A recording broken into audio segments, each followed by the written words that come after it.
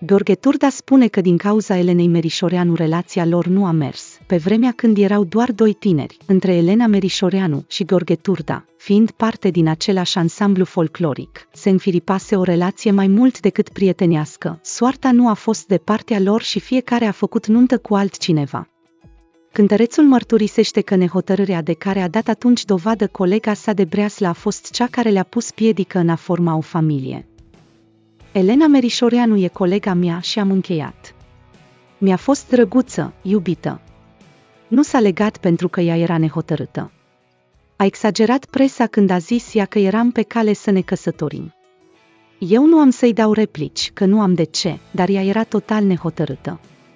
Era așa, plutea, era când cu unul, când cu altul, a mărturisit Gorghe Turda, ghinionul care l-a împiedicat să se căsătorească cu Elena Merișoreanu pare că l-a cam urmărit mult timp pe artist.